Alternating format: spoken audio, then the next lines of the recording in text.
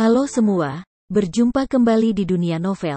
Kali ini kita akan melanjutkan novel yang berjudul Martial God Asura. Selamat mendengarkan. Chapter 5510, Anda dan monster kecil lainnya tidak layak datang ke sini. Saat ini Chu Feng berada di gua yang sangat besar. Di dalam gua, ada banyak pintu merah yang tertutup. Setiap pintu berdiri di kolam independen. Air kolam berwarna gelap, berbuih, dan berbau tidak sedap. Ini seperti dejavu dari parit yang bau. Tapi genangan air itu memiliki kekuatan untuk menghalangi pandangan, dan Chu Feng tidak bisa melihat melalui kolam itu. Ada begitu banyak pintu dan kolam, dan ukurannya tentu saja berbeda. Yang paling dekat dengan Chu Feng adalah Xiao Men dan Xiao. Dan semakin jauh gerbang itu dari Chu Feng, semakin besar kolam tempat gerbang itu berdiri juga semakin besar. Selain gapura yang berdiri di kolam, ada ratusan patung yang berdiri setinggi seribu meter di kedua sisi gua. Mereka mengenakan baju besi dan memegang pedang raksasa, berdiri dengan rapi. Dan di bagian terdalam goa juga terdapat arca yang berbeda dengan arca yang berdiri di kedua sisinya. Patung ini beberapa kali lebih besar dari patung di kedua sisinya. Itu tidak mengenakan baju besi, tetapi garis besarnya tidak lengkap, tetapi bahkan dengan garis yang tidak lengkap itu, secara kasar dapat dilihat bahwa itu adalah pria yang jelek. Selain pintu, kolam, dan patung, ada tulang di mana-mana. Itu semua adalah tulang umat manusia, dan mereka telah kehilangan asalnya. Ini tulang dari zaman kuno. Chou Feng mengambil tulang dan mengamatinya. Zaman kuno. Jadi di zaman kuno, banyak orang kuat datang ke sini dan kemudian jatuh ke sini. Tanya Nyonya Ratu. Itu sangat mungkin. Chou Feng melihat ke gua lagi. Meskipun jejaknya tidak jelas, jika Anda memeriksanya dengan cermat, memang ada banyak aura kuno yang tersisa. Ini menunjukkan bahwa tempat ini telah ada selama bertahun-tahun, bukan formasi sederhana. Dapat dikabarkan bahwa Laut Bintang kuno berasal dari tempat percobaan di zaman kuno. Mengapa hal-hal kuno muncul? Gemuruh.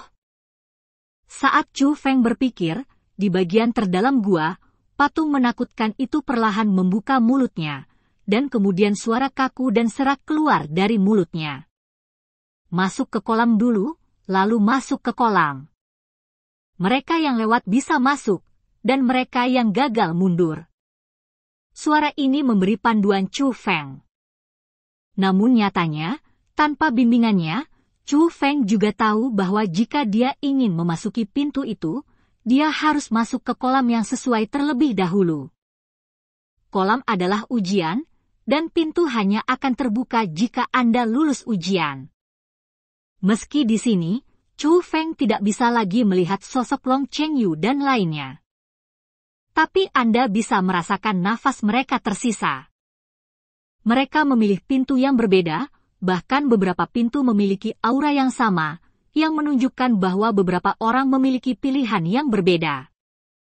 Tempat ini seperti tempat transit, atau dengan kata lain, jika Anda bisa mendapatkan sesuatu di sini, tempat yang sebenarnya adalah di balik pintu. Dalam hal ini, pilihan di sini sangat penting. Biasanya jika Anda masuk melalui pintu yang lebih besar, Anda seharusnya bisa mendapatkan lebih banyak keuntungan. Nyatanya, Long Chengyu, Long Musi, Feng Jiuyue, Feng Tiansheng, termasuk dewa peringkat kelima dari klan unicorn bermata darah dan Kiwedao itu, aura mereka akhirnya bertahan di tempat ini, yang merupakan tempat terbesar di depan dari pintu. Tapi itu bukan yang terbesar, hanya bisa lebih besar.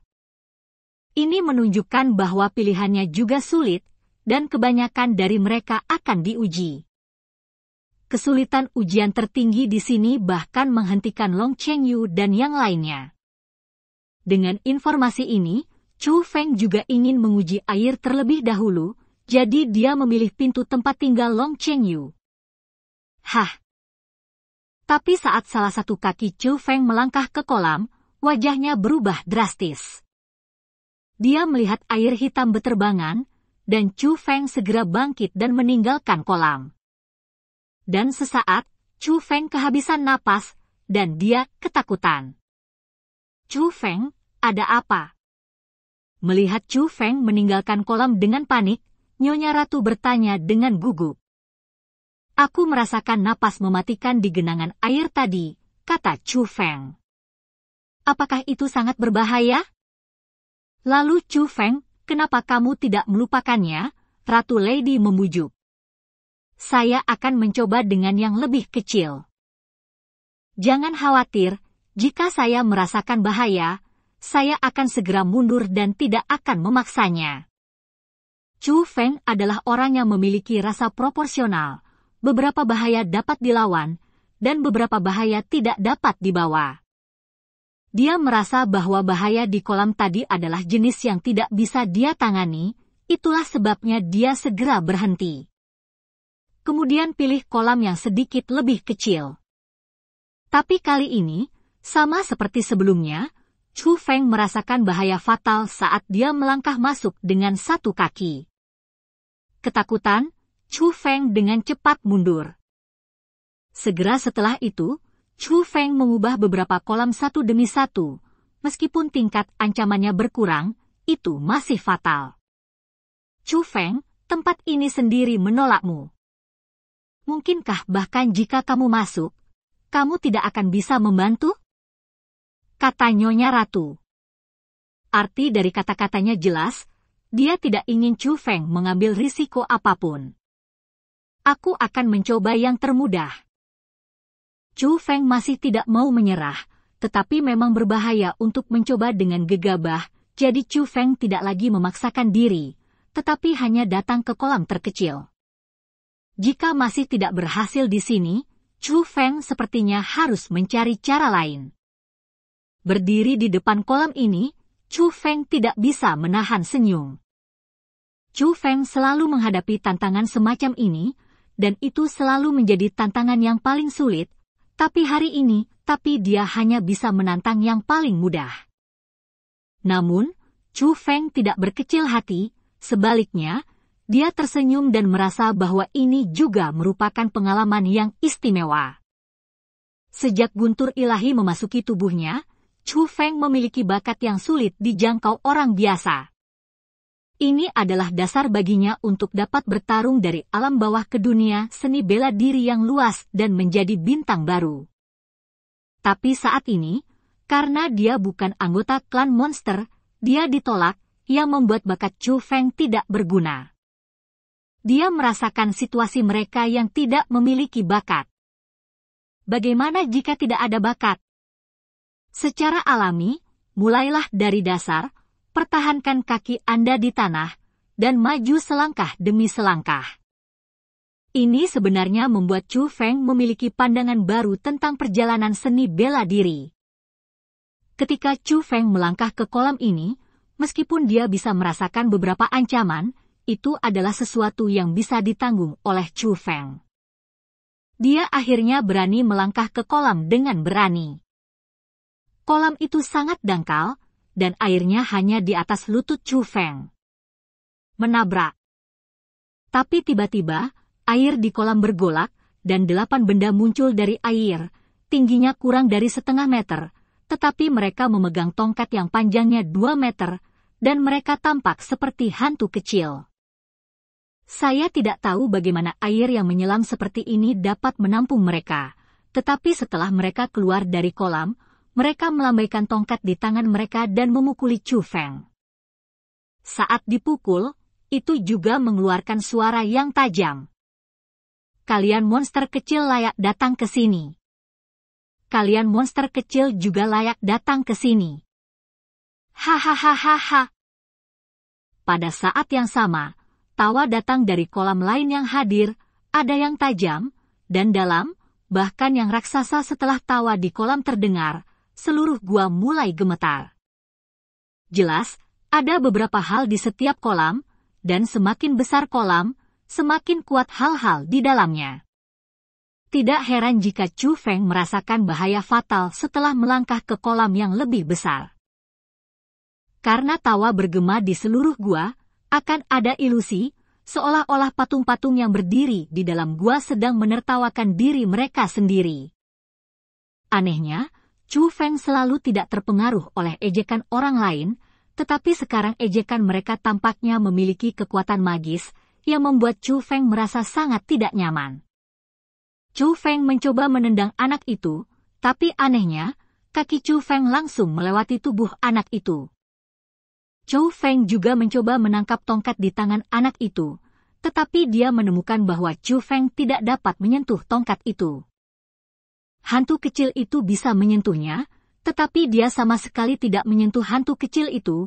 Jika dia mencoba menyentuh mereka, tubuhnya akan melewati mereka. Kemudian Chu Feng melepaskan kekuatan pesona dan kekuatan. Itu semua tidak berguna. Kekuatan formasi Chu Feng tidak bisa menghentikan bocah itu, dan juga tidak bisa menyentuh bocah itu. Apalagi dengan paksaan. Chapter 5511, sekadar susunan, layak dihormati. Apa-apaan ini?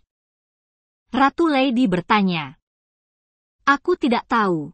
Itu harus menjadi formasi khusus, kata Chu Feng. Biarkan aku keluar dan mencoba, kata Nyonya Ratu.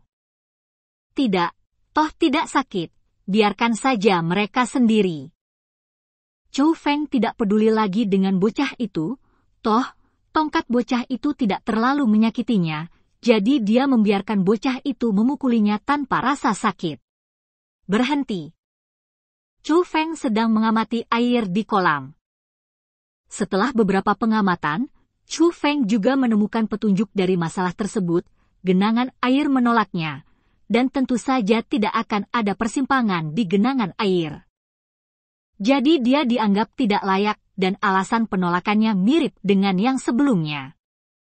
Itu adalah monster, yang dibutuhkan di sini adalah darah dari ras monster, meskipun Chu Feng memiliki kekuatan darah, tetapi karena Chu Feng adalah ras manusia yang nyata, dia sama sekali tidak dapat bertahan dalam ujian tempat ini. Ini juga alasan mengapa benda kecil seperti hantu itu akan menertawakan Chu Feng. Mungkin dalam pandangan mereka, Chu Feng juga iblis yang datang ke sini, tetapi dengan kekuatan garis keturunan yang lemah, dia pasti iblis kecil. Tampaknya kita hanya bisa menemukan cara untuk mengubah karakteristik dari beberapa garis keturunan. Setelah itu, Chu Feng meninggalkan kolam dan mulai mengatur formasi, bermaksud membingungkan kolam melalui formasi. Tetapi bahkan dengan restu dari formasi, Chu Feng memasuki kolam lagi, dan tidak ada perubahan di kolam, tetapi hantu kecil itu akan muncul lagi dan memukuli Chu Feng lagi dengan tongkat. Pada saat yang sama, di kolam lain, suara mengejek yang ironis menjadi semakin keras. Jika itu masalahnya, aku tidak akan bisa masuk sama sekali. Pada saat ini, Chu Feng juga merasa sedikit kewalahan dan memikirkan semua metode yang harus dia pikirkan, tetapi tidak berhasil sama sekali. Dan Chu Feng juga tahu betul bahwa alasan mengapa formasi kebingungan yang dia atur tidak berpengaruh adalah karena tempat ini sendiri merupakan formasi yang lebih kuat. Dalam formasi yang kuat ini, Chu Feng ingin menggunakan formasinya sendiri untuk membingungkan orang lain yang hanya memainkan trik. Hantu kecil, kamu sepertinya butuh bantuan. Tetapi pada saat ini, suara yang akrab terdengar. Setelah mendengar suara ini, Chu Feng sepertinya telah bertemu dengan tulang punggung, dia yang awalnya tertekan tiba-tiba menjadi percaya diri. Senior, ini kamu, kamu akhirnya mau berbicara denganku. Chu Feng sangat bersemangat, dan bahkan dengan tergesa-gesa memproyeksikan kesadarannya ke dalam dantiannya. Karena orang yang berbicara adalah kekuatan darahnya sendiri, di antara sembilan binatang guntur, binatang guntur merah. Binatang guntur raksasa merah ini muncul untuk membantu Chu Feng ketika dia berada di dunia kuno, dan memberi nasihat kepada Chu Feng pada akhirnya, dia meninggalkan tipuan untuk Chu Feng. Hanya karena dikatakan bahwa hanya ada satu kesempatan untuk memahami metode itu, dan Chu Feng perlu mencobanya ketika dia benar-benar yakin, jika tidak konsekuensinya adalah dia akan kehilangan kekuatannya selamanya. Karena itu, Chu Feng tidak berani mencoba dengan gegabah. Dan sejak itu, binatang guntur merah tidak pernah memperhatikan Chu Feng. Chu Feng awalnya berpikir bahwa sebelum memahami metode itu, binatang guntur raksasa tidak akan memperhatikannya lagi, tetapi dia tidak pernah berpikir bahwa dia akan membuka mulutnya lagi hari ini. Dan sekarang, Chu Feng memproyeksikan kesadarannya ke dalam dantiannya. Binatang guntur raksasa merah tidak hanya menatapnya, tetapi juga mendekati Chu Feng. Terlalu besar, benar-benar terlalu besar. Ini sangat besar sehingga masih sangat jauh dari Chu Feng, tetapi Chu Feng hampir tidak dapat melihat keseluruhan gambarnya dengan jelas. Bukan karena pandangan Chu Feng terlalu pendek, tapi binatang guntur raksasa itu terlalu besar. Tapi hanya karena sangat dekat, slip bambu petir di dalam binatang raksasa petir juga menjadi lebih besar. Slip bambu guntur itu persis seperti yang ditinggalkan binatang guntur merah raksasa untuk Chu Feng. Sayang sekali Chu Feng tidak pernah berani mencoba untuk memahaminya. Senior, bisakah kamu membantuku? Chu Feng tidak berputar-putar, tetapi langsung ke intinya. Karena dia tahu betul bahwa sebagian besar alasan binatang guntur raksasa berbicara kepadanya saat ini adalah untuk membantu Chu Feng memecahkan masalah. Hantu kecil, metode formasi di sini tidak sederhana. Pada dasarnya tidak mungkin bagimu menggunakan metode formasi untuk mengubah garis keturunan dan lolos begitu saja. Tapi karena metode formasi di sini adalah untuk mendeteksi garis keturunan, ada metode yang seharusnya bermanfaat, tetapi mengharuskan Anda menanggung beban yang sangat besar. Rasa sakit juga akan membebani tubuh Anda, apakah Anda bersedia mencobanya? Suara tebal binatang guntur raksasa bergema di dunia dan Tian ini. Rasanya seperti itu bukan objek yang berbicara dengan Chu Feng, tetapi lebih seperti dunia yang berbicara dengannya. Meskipun saya telah melihat kekuatan binatang guntur raksasa sebelumnya. Tapi sekarang saya menghadapinya lagi. Di sisi lain, rasa penindasan yang tak tertandingi ini masih membuat Chu Feng merasa bersemangat. Ya, itu bukan ketakutan tapi kegembiraan. Lagi pula, ini adalah kekuatannya sendiri, tapi dia masih tidak bisa mengendalikannya. Tapi, Chou Feng tahu bahwa cepat atau lambat dia akan bisa mengendalikannya.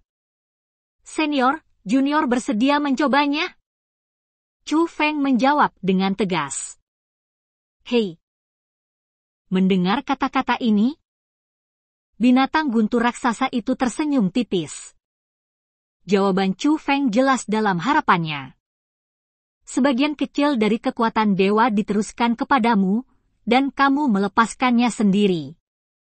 Dengan kekuatan darah dewa ini, meski kamu bukan monster, kamu pasti bisa lewat. Tapi kalau tidak ada respon, berarti formasi di sini bukan hanya ditujukan pada kekuatan darah saja, jadi sebaiknya menyerah saja. Pertanyaan tentang desain tempat ini. Leiting berkata pada raksasa itu. Junior ini mengerti. Setelah Chu Feng setuju, dia buru-buru mengikuti. Dia memilih kolam terbesar di bagian terdalam gua, tetapi Chu Feng tidak langsung masuk, tetapi berhenti ketika dia mencapai kolam. Senior, Apakah kamu mendengar suara itu tadi? Chou Feng ingin mencari tahu dari binatang guntur raksasa, siapa orang yang mengingatkannya bahwa Long Chengyu dan yang lainnya mungkin dalam bahaya. Dewa ini melihat formasi di sini dan melihat ke bawah pada darahmu, jadi dewa ini membantumu memasuki kolam ini untuk mencoba. Ini adalah pengecualian bagi dewa ini untuk bergerak. Jangan tanya dewa ini tentang hal lain kata binatang raksasa. Hei, bagus. Melihat ini, Chu Feng tidak ingin bertanya lagi, tetapi langsung melesat ke kolam. Kolam ini ribuan kali lebih besar dari kolam kecil yang diinjak Chu Feng sebelumnya. Ini bukan lagi kolam, tapi danau. Tapi itu adalah kolam yang sangat besar dengan area yang luas. Ketika Chu Feng melangkah ke dalamnya, airnya hanya di atas lututnya, dan kedalaman airnya hampir sama dengan kolam sebelumnya. Tetapi perlu disebutkan bahwa ancaman mematikan itu muncul lagi, tetapi kali ini Chu Feng tidak mundur, karena kali ini dia sudah memiliki kepercayaan diri. Gemuruh-gemuruh. Segera, genangan air mulai bergolak. Segera setelah itu, sosok raksasa dengan ketinggian seribu meter muncul dari genangan air. Masing-masing terlihat jelek, tetapi mereka membunuh dan menyakitkan rasa penindasan yang kuat berkali-kali lebih menakutkan daripada hantu-hantu kecil itu sebelumnya. Jika yang sebelumnya adalah hantu kecil, maka tidak diragukan lagi bahwa yang muncul saat ini adalah hantu jahat yang sangat besar. Kalian monster kecil berani pergi ke tanah yang terhormat ini untuk menguji air, kamu benar-benar ingin mati. Roh-roh jahat raksasa itu menghina Chu Feng, sambil menebas Chu Feng dengan senjata mereka. Beraninya kamu menyebut dirimu dewa setelah dibuat oleh formasi belaka. Thunder Giant Beast mendengus pelan. Pada saat yang sama, Chu Feng merasa bahwa kekuatan darah yang sangat kuat dimuntahkan dari dantiannya, bergabung ke dalam tubuhnya, dan sudah dapat digunakan sendiri. Meskipun, setelah kekuatan ini muncul, Chu Feng merasa tubuh fisiknya akan terkoyak. Tapi Chu Feng masih mengatupkan giginya dan melepaskan kekuatan ini. Zilala dalam sekejap, kekuatan guntur merah menyebar dari tubuh Chu Feng. Kekuatan agung guntur tidak berhenti di danau ini, itu menutupi seluruh gua dalam sekejap. Pada saat ini, seluruh gua diterangi dengan cahaya merah dan guntur ada di mana-mana, dan itu benar-benar ditempati oleh guntur merah. Kekuatan guntur memberi Chu Feng perasaan bahwa setiap kali dia menerobos, guntur dewa jatuh. Biasanya, kekuatan guntur semacam ini seharusnya tidak memiliki kekuatan penghancur kecuali kekuatannya yang menakutkan. Tapi di sini, kekuatan guntur memiliki kekuatan penghancur. Woah! Ah. Aku melihat roh jahat raksasa yang mengayunkan pedang raksasa ke arah Chu Feng. Sekarang ia membuka mulutnya lebar-lebar dan melolong terus-menerus, dan tubuh fisiknya yang besar terlihat hancur oleh mata telanjang. Tidak hanya mereka, tetapi juga di kolam lain, tidak ada suara ejekan yang keras, tetapi ratapan yang menyedihkan. Tampaknya kekuatan guntur tidak hanya ditujukan ke kolam ini, tetapi semua kolam di seluruh gua, dan semua hantu kecil di kolam itu telah terpengaruh. Tapi ratapan itu ada untuk waktu yang sangat singkat, dan alasan mengapa begitu singkat adalah karena hantu-hantu kecil itu sudah mati. Bagaimanapun, bahkan hantu jahat yang sangat besar, di bawah naungan kekuatan guntur, hanya bertahan sesaat sebelum benar-benar hancur. Keberadaan yang sebelumnya merupakan ancaman fatal bagi Chu Feng sangat rentan di depan binatang guntur raksasa. Dan, cerita pun berakhir. Sampai berjumpa di chapter berikutnya.